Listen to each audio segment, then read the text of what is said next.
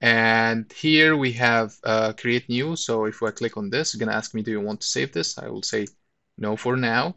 And as you saw, we added these layers from different sources, but we uh, gonna save this all as MXD document file. So MXD is uh, like a project file that contains all the things we have done here.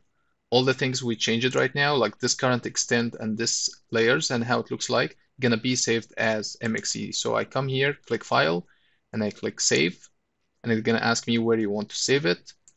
And I'm gonna go to my course, map, and I'm gonna save it here untitled. I'll call it mxd1, mxd1, and save it. Now I have my XD, I can close ArcMap and open the same uh, MXD la later again or share it with someone. But in order to share the MXD file, I need to share also all the data that we added separately here. And they need to, uh, whoever gonna take the MXD to make sure that they have the right source. So how can I know where this uh, layer is located? I, I right click on it and I click properties and I go to source. I see where this layer is saved. And if so, if I wanted to share my MXD with any with anyone, I need to send the MXD and send this geodatabase and also send all the source of this other layers except the base map because base map already comes with ArcGIS map. The next thing here is to open existing MXD. So if I click here and I want to open an existing MXD, like this one, I'm going to double click on it. He asked, they ask me, do you want to save this one? I say yes. So after I saved my MXD, I can work on another MXD or select a new one and choose a blank one. And my previous MXD have been saved, so I can easily select open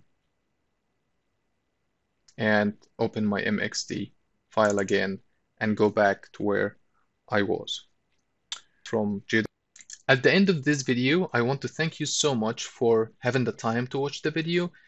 If you are interested to learn more about ArcGIS products, please go to arcgismastery.com and you will see that we have a lot of selection for online training courses, starting by ArcGIS Desktop and another products like ArcGIS Online, ArcGIS Pro, ArcGIS Enterprise, and so many more. We also have coming courses that you can subscribe to and enroll right now and get a 50% discount. And we will appreciate it if you leave a comment below and let us know what exactly you need to see in this course so we include it in the course for you.